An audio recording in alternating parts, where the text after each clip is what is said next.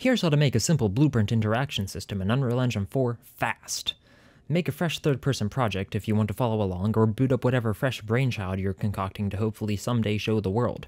We're going to use interfaces to make this work. An interface is a way for different blueprints to talk to each other without having to have a direct reference to one another. Make a new folder named Interfaces. Instead of that, right click and choose the Blueprint section, Blueprint Interface. Name it I underscore interaction. Open that bad boy up. Unreal should automatically create a new function for you. If it doesn't, click Add New Function. Name it something snazzy like interact. When you click it, on the lower right, you'll see some options to add inputs and outputs. This is where you add the information you want to send. You can use these to do pretty much whatever you want. I'm going to return a string to print. And now you're done with the interface. What's that? You want to know how to actually use it? Geez, fine, I'll explain. We'll need an interact button and something to interact with. Let's start with our interactable.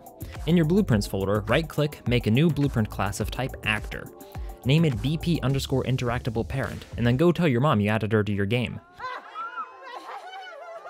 Open it up. Under class settings, you'll see an interfaces tab. Hit add, and then search for your interface. Then we'll add a sphere collision so we know when we're overlapping with this guy.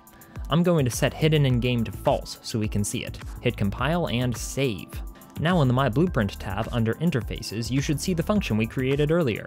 Double click on it to open it up. Look familiar?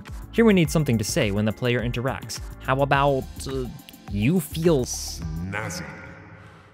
Now we just need the player to be able to interact with it. Instead of going through setting up inputs, we'll just open up the third person character blueprint and add an input E.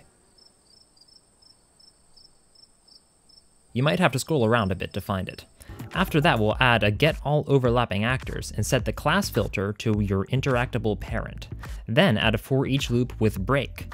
This way, we go through each actor the player is overlapping with, and when we find one, we interact and stop looking.